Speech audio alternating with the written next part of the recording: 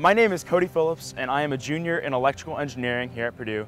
I've been a project manager with EPICS for five semesters now. I actually joined because I was reaching up to upperclassmen at the time and someone said that EPICS would look good on a resume. So I joined it without even really knowing what it was and it ended up becoming one of my favorite things here at Purdue. I initially did it for one year but I realized after that two semesters that I needed to stick with it for longer. I'm able to help so many people and I truly enjoy what I'm doing. EPICS has completely changed how I work on groups now at Purdue. As I get to be more of an upperclassman in electrical engineering, a lot of my classes are lab-based and group project-based. This really, really helps me to work as part of a team. As a junior in electrical engineering, I'm able to provide a lot of the more electrical consultation for my sub-team and the team as a whole. I know when I was a freshman in EPICS, I certainly did not have that same knowledge that I do now. I know that now planning and organization are absolutely crucial to getting a project done on time and effectively.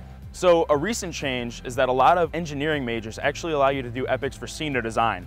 I know for me, I'm able to stick with EPICS and stick with a project that I love, but actually use it to fulfill a lot of the degree requirements for specifically electrical engineering, but I know a lot of other majors have the same system. Every interview that I have taken a part of in the past two and a half years has included a big discussion on EPICS. Most recruiters, they all know what EPICS is, and a lot of people actually have been a part of EPICS themselves. Being a part of EPICS has really helped me land my first real major job. EPICS is, to me at least, more than a class. It really allows me to be the best engineer that I can.